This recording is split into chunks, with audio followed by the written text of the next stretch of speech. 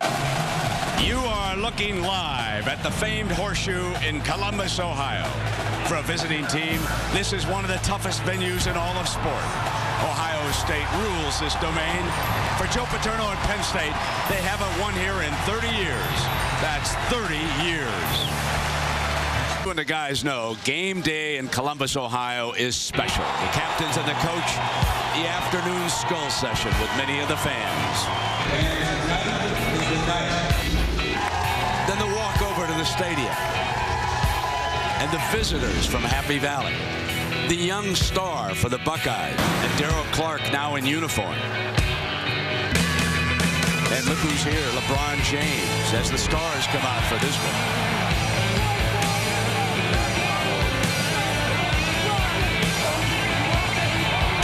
both tight ends over to the right.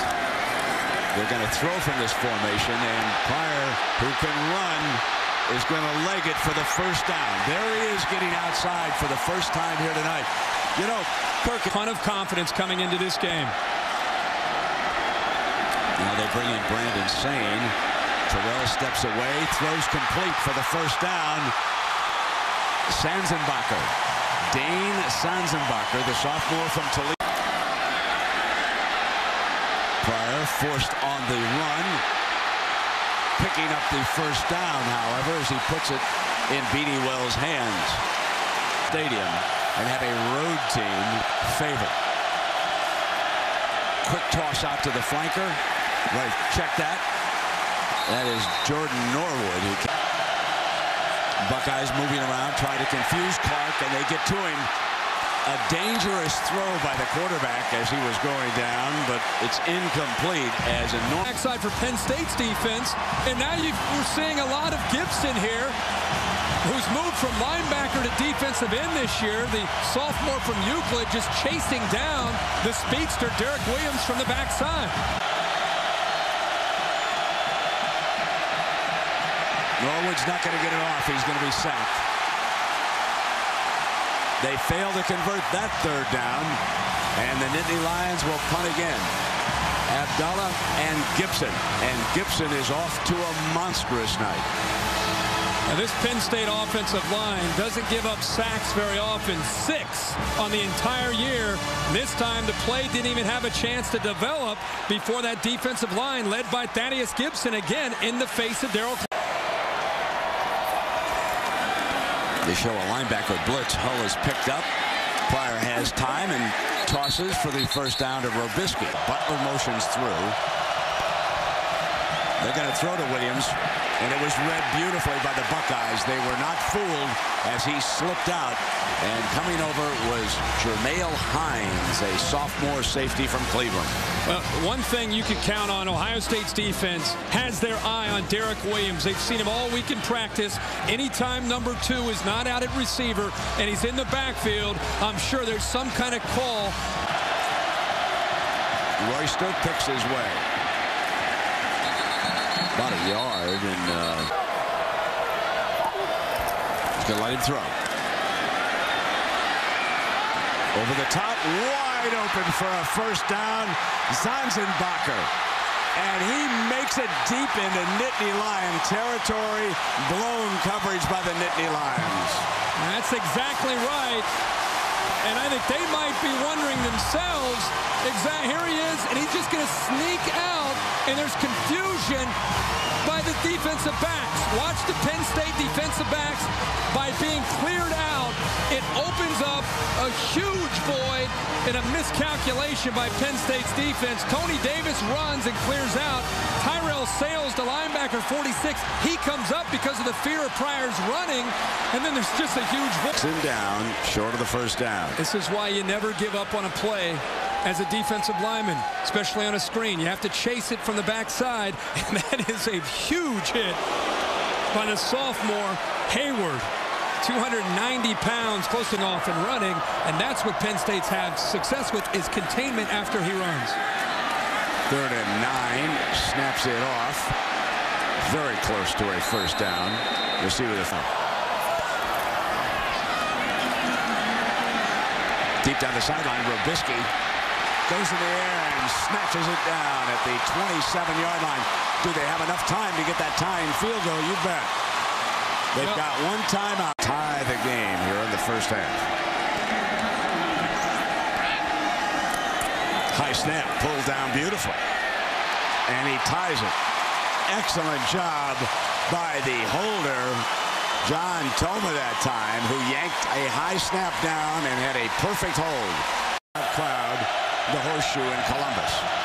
Third down, Clark's going to keep it, but he won't get that first down on that play. Not the way the Buckeyes have clogged the line here tonight. They're doing a good job in the middle. That's been an area that's been an Achilles heel earlier in the year for Ohio State. They just weren't getting a lot of plays, but now we're starting to see that interior, the defensive line, start to make plays last week and again. To throw for this one.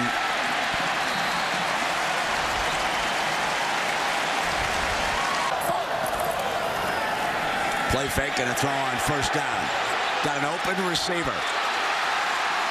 Brandon Saine, who checked in as one of the running backs. Number three, an outstanding receiver. Brent, they broke a tendency here. Now they're in the eye. Watch this right here because the defense is so concerned with running the football. Now he's a freshman, cut him some slack, but look at the tight end walking down the middle of the field. They broke a tendency of running and running and running on first and 10, and Penn State is... Receiver Third down and seven. Comes back to the sideline and the ruling catch at the 26-yard line by Robiskie. They're saying he got the foot down, and this is a splendid catch by Robiskie. Let's take a look at it. It's a heck of an effort to catch the football and then try to get the right foot down. Right there. Both officials. And Trapasso is going to put it down. Slides it in.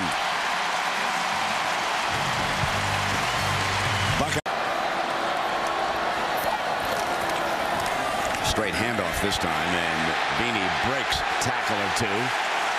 Close to midfield. Daryl Clark. Terrelle Pryor fumble, loose ball. Knocked free. Big loose ball. Big scrum. Looked like the Lions may have bounced on it. It looked like Bowman may have gotten to the ball and recovered it. This is a great scrum because one of the defensive players knocked it further back so it could not be recovered by a Buckeye. This your key play, perhaps. Take a big look at this, folks.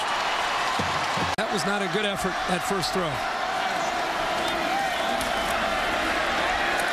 Has time, receiver open, hits him at the 40-yard line. And Small ducks back. Defensive end who gets around not only Beanie Wells, but the tight end that time, Jake Ballard. It wasn't Bryant Browning, but the tight end forcing Terrelle Pryor to move off to the right and then just throw it up and hope somehow that Brian Hartline could come down with it. Last week it worked. This time it doesn't.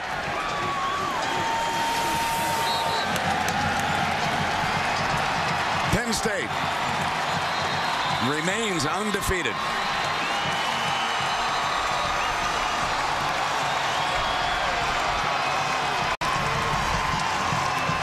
That was Tom Bradley, of course, the defensive coordinator out with Jim Tressel. Go, go, go,